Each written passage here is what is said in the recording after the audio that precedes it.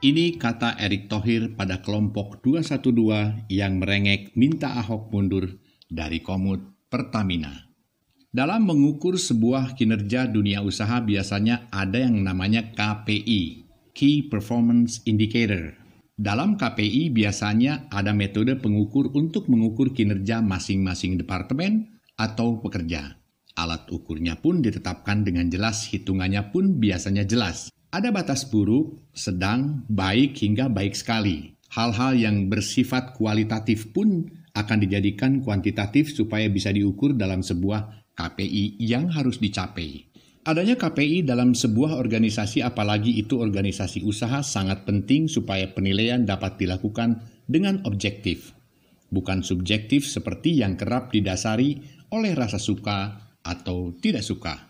Erick Thohir yang saat ini menjabat Menteri BUMN adalah pengusaha sukses. Hal-hal yang berkaitan dengan KPI dan lain sebagainya adalah hal yang sudah biasa dia lihat sebagai dasar sebuah penilaian supaya bisa objektif.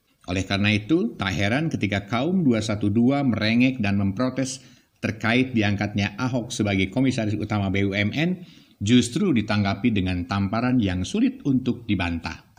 Ini saya yakin Bu Nike dan jajarannya melakukan tugas dengan sesuai. Saya mau direksi yang diangkat saat ini bisa menyelesaikan tugas, jadi jangan ditakut-takuti gonta-ganti posisi satu tahun dilepas. Begitu kata Erik. Jadi saya tidak mau kalau pergantian karena hal personal. Selama KPI jalan dengan baik, biarkan direksi dan komisaris BUMN bekerja. Yang bisa diganti itu kalau tidak sesuai dengan KPI. Begitu lanjut Erik. Apa yang dilakukan oleh Ahok di Pertamina bisa menjadi tolak ukur kinerjanya. Membuat Pertamina jadi perusahaan mendunia, menempatkan SDM KPK sebagai internal auditor Pertamina, menggait Polri dalam distribusi BBM dalam rangka mencapai target satu desa, satu SPBU atau mini SPBU, menertibkan subsidi LPG agar lebih tepat sasaran bekerja sama dengan Kemensos dan membuat Pertamina lebih transparan via informasi web Pertamina agar masyarakat bisa turut memantau kinerja Pertamina. Jika indikator yang digunakan sebagai penilaian sebuah kinerja dirasa baik, tak ada alasan untuk mengganti siapa pun. Secara rasional, memang seharusnya begitu. Kalau kita berpikir objektif, mungkin kelompok 212 akan terasa sulit. Ada kemungkinan-kemungkinan yang membuat itu sulit di antaranya adalah karena mereka memiliki agenda terselubung, di mana tujuan utamanya adalah menggiring ketidakpercayaan publik terhadap pemerintah dengan berbagai sentimen.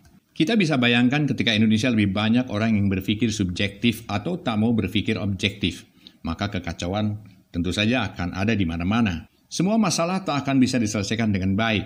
Semuanya hanya dinilai berdasarkan sebuah keyakinan tanpa memperdulikan fakta gontok-gontokan, dan merasa paling benar tentu akan terjadi.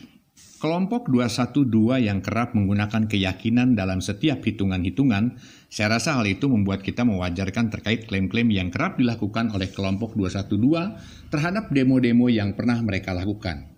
Tanpa hitungan, mereka dengan mudah mengklaim bahwa peserta demo berjumlah belasan juta, padahal penduduk Jakarta totalnya hanya 10 juta umpamanya. Toh para pengikutnya modalnya yakin jadi klaim tersebut akan dipercaya. Kita kembali kepada tanggapan Erick Thohir yang saya rasa sulit untuk dibantah mengenai alasan-alasan yang diberikan mengapa dia tetap mempertahankan jajaran yang ada di Pertamina hanya berlandaskan KPI. Sekali lagi, KPI itu adalah Key Performance Indicator. Jadi bukan atas rasa suka atau tidak suka.